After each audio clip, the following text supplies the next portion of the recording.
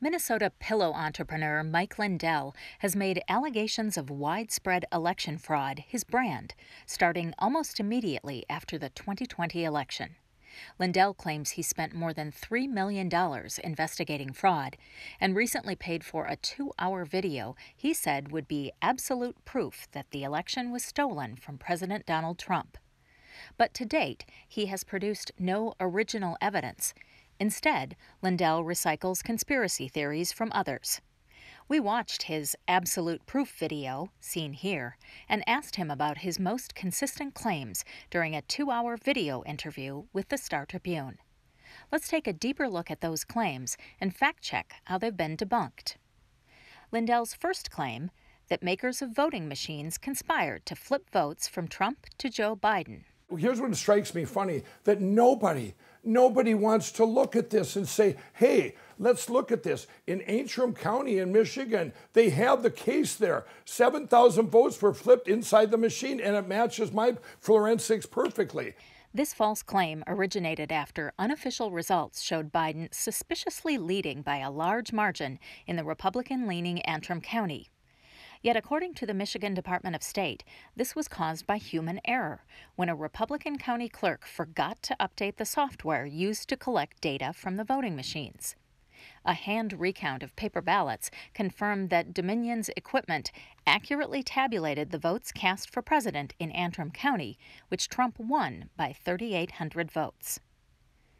Lindell's second claim that other countries, led by China, interfered in the election by hacking voting machines. I mean, if you guys watch this, you're going to go, wow, our country is under attack. This isn't Democrat and Republican. You know, this is China. 60% of these attacks, the IP addresses and the IDs of the computers, this is inside the spyware, came over here from China. The federal agency that oversees U.S. election security says it's not possible to hack electronic voting machines without the intrusion being recorded via logs and software checks of voting systems. Last year, each state's post election review found no evidence of vote manipulation by foreign hackers or any other widespread fraud. Lindell's third claim that ballots were fraudulently cast in the names of dead people and other ineligible voters.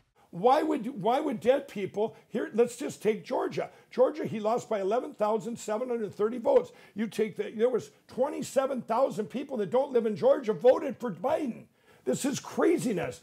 Lindell's video cycles through charts listing large numbers of dead people and ineligible voters, but he provided no sourcing. In Georgia, Republican Secretary of State Brad Raffensperger said only two voters in the 2020 presidential election were found to be deceased. He also added that many people living out of state can lawfully vote in Georgia, including college students and military personnel. None of these repackaged claims has persuaded any judge from overturning the results of the election. Nor did they stop state or federal lawmakers from certifying Joe Biden's win. Lindell's motivations for continuing his misinformation campaign are unclear, but this could cost him everything.